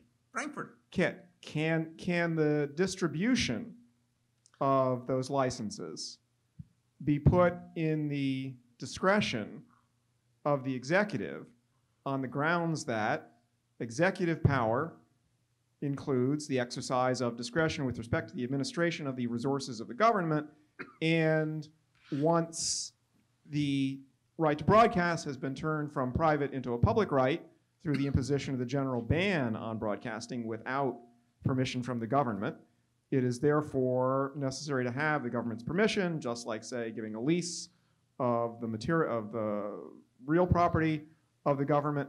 does the, does the conclusion about if you think there's a non-delegation principle, it's not applying when publicly held resources are being administered, does that carry over into intangibles, in particular this intangible?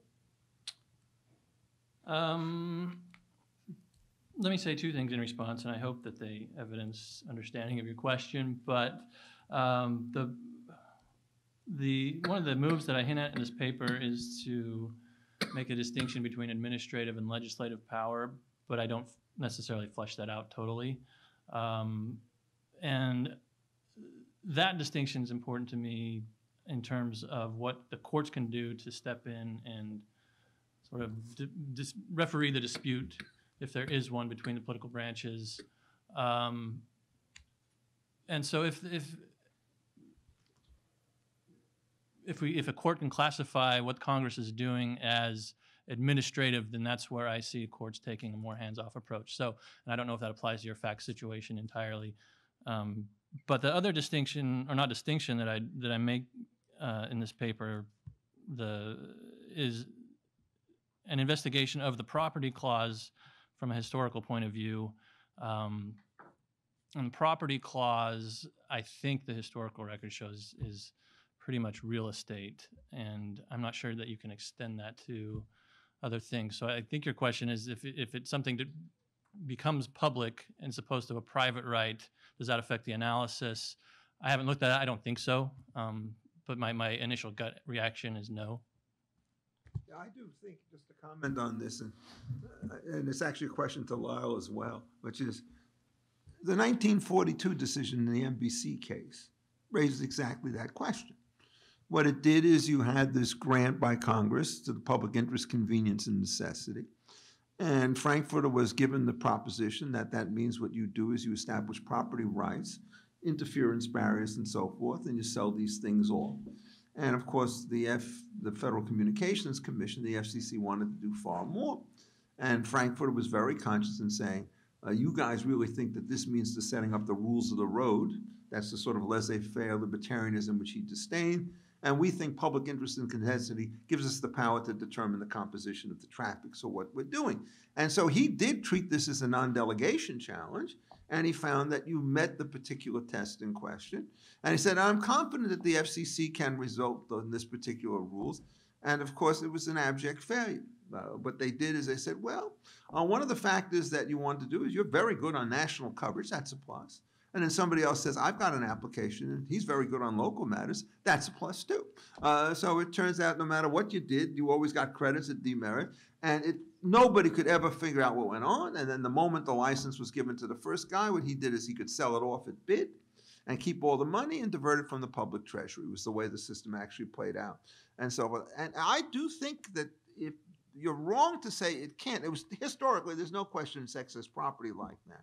But the government did claim the ownership of the spectrum on these particular cases. It didn't claim we only have the power to regulate it, but we don't have the power to take it in because they wanted to give large chunks of it in the 1912 allocation uh, to ship to shore radio and so forth. By the way, those allocations from two, under the 1912 Act are still good law today um, because they never got shifted because you can't sell spectrum across use categories and so forth. So you can't take the sheriff's band and sell it off to the wireless companies. And so the utilization's there as opposed to 5,000 times as much of the other band.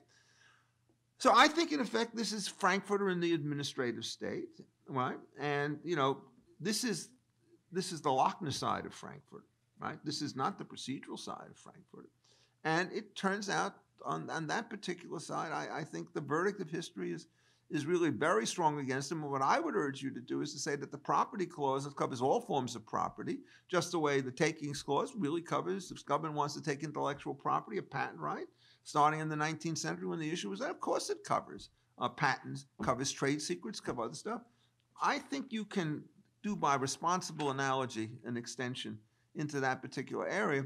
And then you, well, your position is essentially is consistent with the Frankfurter ones because what you call deference, he calls essentially uh, the mandate was broad enough to accommodate whatever you want to do, even though nobody wants to do it. Now, is that your reading of these cases, Um, so I, I can't claim to have a, uh, Hmm. a deep reading of Frankfurter on, on, uh, the spectrum, but, um, I, I think he, he definitely was very deferential to, you know, he saw the administrative state as a positively good thing. Yes. Um, and so that, this again goes to his democratic versus um, judicial distinction Yeah. too, which he cared about throughout his whole life. That if we can have democratically created specialist agencies, these will be appropriate me- methods of kind of adjudicating these things. We want to get this out of the courts. We want to get this into um, agencies and fora Yeah. that are that end up going through democratic branches. So, I mean, if you do the biography of, of Frankfurter, which you might want to do, he's a very different judge from 1939 to say about 1946 Mhm. uh, through the revision of the Administrative Procedure Act than he is by the time he gets into the 1950s, where he becomes something of a judicial restraint guy, right? Or uh, I'm not quite sure what I'm doing sort of guy, as opposed to somebody who was really much more of a, had a positive program early on in his career. Uh, So, so that would be one area um, where I would say I think I view him as more consistent across this era. Where I thought I, I, I view him as very much a judicial restraint guy across his career, and it's more that the court moved rather than Frankfurter moving. I'm not, I'm, there's a different set of problems, of course, obviously. Nobody became a judicial guy, you know, restraint guy on Brown v. Board. True. Any, any more questions from the audience? Yeah, Gene? Yes, you do. I just wondered if anybody wanted to uh, quarrel significantly with anything that Richard said about their papers. So I thought I would throw that open to all of you. Yes.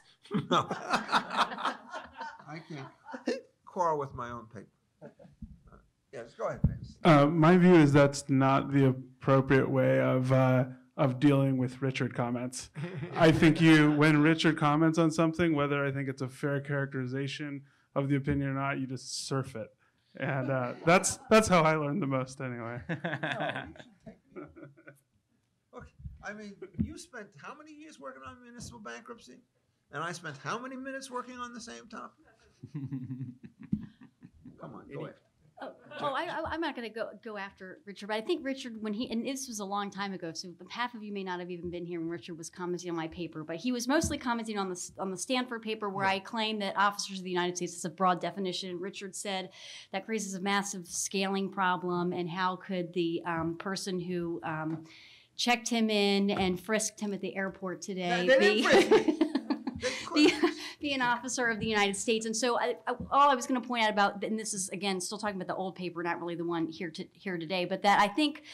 I think sometimes we wrongly see this kind of black white distinction between um, officers and employees, and that actually a fair amount of the work, uh, most of the work of the hiring and the vetting can actually be delegated down. And so it's what we're talking about with the with people being subject to the appointments clause is the head of the department or the president having to have accountability at the top and signing off. And one way to illustrate maybe how this this would work, um, first of all, is is if you look at the appointments clause, Congress can establish by law offices. So you know it seems as though historically the understanding was that Congress could put um, certain qualifications to a degree at least on who could serve as an officer. So perhaps, and there was a debate as late as 1871 over what do we do with clerks who, even that late in, record keeping clerks were seen as officers subject to the Appointments Clause. And the question is, what do we do about the Pendleton civil service reform?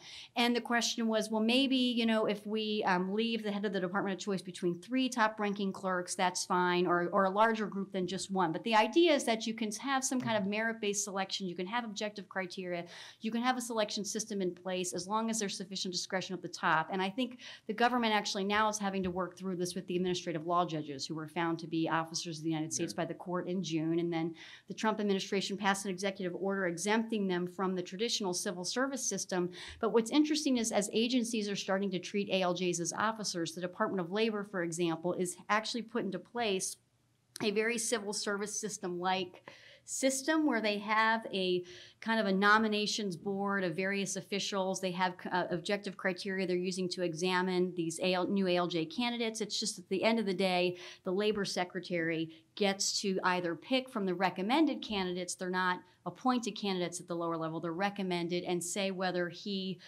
wants to pick from those or send everybody back to the drawing board. And I think you could even imagine a situation where perhaps the person at the top would say, well, I just as a matter of practice am going to you know, always just myself choose to pick the top ranked candidate or, you know, that kind of thing. And, and that, and, and that, and that the, the system does not need to be as cumbersome or um, unwieldy perhaps um, as Richard proposed earlier today, as long as there's accountability on the top. And some might, if I could just say one last point, some might say, well, then that undoes all the accountability. And I think that's not really true as long as we hold the department head accountable for whatever system that person puts into place. So then that person cannot any longer say, oh, this ALJ stole all this money. Oh, the Office of Personnel Management didn't vet them properly, or my hiring board didn't vet them properly. The secretary has to take responsibility and say, I put the system in place.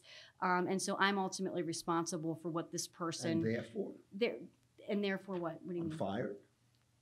Yes, yeah, well, or, well, or, or his, his stature goes down in the eyes of the president or whatever. I mean, it may not be a perfect, the Hmm. sword of Damocles may not impact him every time he makes a misstep, but he, at the end of the day, he's held accountable on some level for the Can- personnel ask you one underneath him. question? Yes, Um, in Morrison v. Olson, they said interbranch appointments are appropriate. So that the courts of law who are outside the political system can appoint a special prosecutor. I always thought that that was a horrendous mistake. And that you, by any stretch of the imagination, never want to give unaccountable judicial people the chance to make political appointments, whether or not her name is Alexia Morrison. Oh, what side, do which way do you come down on that interbranch appointment question? yeah, so I, I think probably, um, I, I take more Akhil Amar's position in Well, okay, intratextualism. disagree. And well, and and also I think other founding era evidence suggests that the inferior officer concept was, was that the was that the um, executive branch would be the department head would be appointing the lower level inferior So is that you're against the trans, I am against the idea that courts of law can appoint executive So officials, well. and so is Akhil Amar. Oh, yeah, but I mean, I, I don't know if we're So- doing it for exactly the We- same we- reason, but structurally, it makes absolutely no sense. Um, the last thing you want to do is to give somebody the power to appoint when they don't have the power to oversee. That's right. That's right. And then I think structurally from the text of Yeah, the and so, I mean, I, I thought reasons that doesn't- Rehnquist was one of his worst opinions. And that was one of his worst features of one of his worst opinions. And he sounds like an apologist for the administrative state rather than an independent judge uh, doing his job. Morrison versus Olson's very troubling. It was always, it was a terrible yes. decision. And I mean, we see the same problem with Mueller, similar ways, although that's within the branch appointment. They have a conflict of interest question, right? I'm going to refrain from. I'm not gonna refrain from it. I would never refrain from attacking Mr. Mueller at any opportunity that I have, uh, on the grounds he should have never taken the commission because he's buddies with people who are material witnesses in the case. We got about three more minutes, so, any, yeah. So this is for Paul. Um, Could you say a little bit more about how the temporalization would happen in terms of the the collateral consequences uh, and how that could be done sort of relatively objectively? Um, Like, would you need a a- a collateralization guidelines? And if so, would it have to be advisory? There's a lot packed in there. First of all, I just want to say the temporalization phrase, I'm going to steal that, Richard. I like that. That was very nice. Free gift. Um, thanks for that question, Anthony. I, so I guess the first thing I would say is it would be an objective analysis as opposed to subjective. And so what do I mean by that? You wouldn't, you, you would want to, or I would, I would urge, propose courts or legislatures especially to get involved by when picking between those four categories I mentioned, to take an objective approach, which is what we do with imprisonment, right? We don't ask like, is one day in prison going to be particularly hard or particularly, you know, sufferable or insufferable, right? We sort of just make general assessments, and it's not going to be the same for everybody. So the same for each cloud consequence.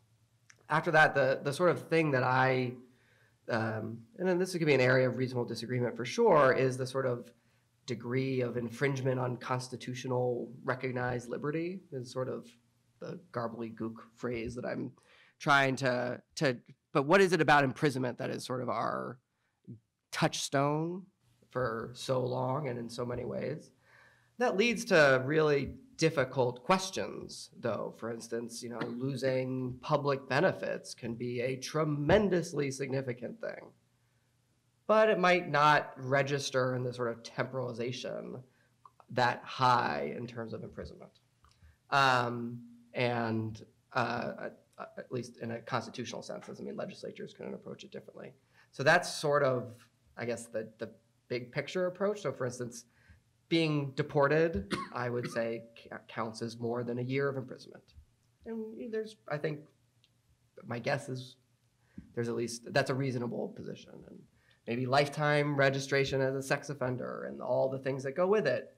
Maybe more than a year Oh, or maybe six months to one year. And I mean, just ask yourself the question. Would somebody rather have two years in jail and not have to register under SORNA? Or they have well, one year in jail and register under SORNA and be a pariah for the next forty-five years of your life, even after you're impotent? Well, on nice- that note- On that note.